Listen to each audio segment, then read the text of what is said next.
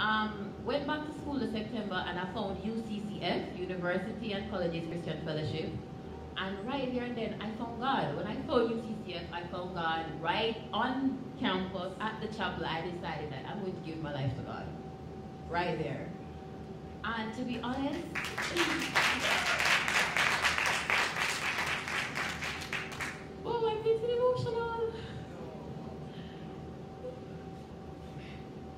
right there, it's like, I used to be a Christian like at age 10, and I thought that because I did all of these bad things and peer pressure and all of this, I felt, I felt like I couldn't come back to God and I was too far gone, which was one of the reasons why I didn't go back into church.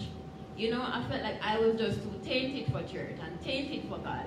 And while there, me I tell you, somebody my age, you know, she pray me up and she she very cool, yeah, kind of tongues and be things that go on she's like, you're gonna give birth. And me I don't know, no period. Not knowing it was spiritual birth, she's talking about. and she was like, God said that, you know, you're not too dirty for him to clean you and all of them something there. That was in September.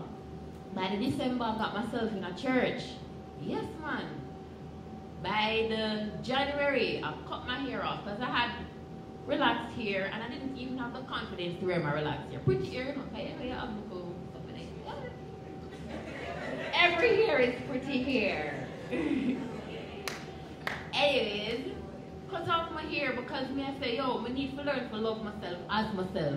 Stop wearing makeup. I just lipstick my off and I'm still keep done. Yeah. Anyways, stop wearing makeup. By this time, everybody thought I was going mad. I was going crazy. Because they don't understand what's going on. They don't understand that the process inside, it needs the outward manifestation. That was January.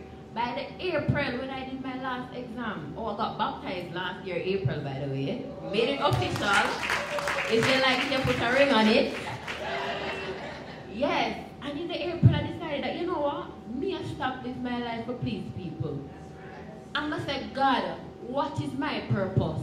And God said, when you would have get up every day of life and do. At the time, I not even know say I trichology name. I said, you know what I do ear care, I think I like ear. And then God said, so do it. Someone said, which part am I going to do that? Then I do that to art or something like that. And let's just say my heart wanted heart.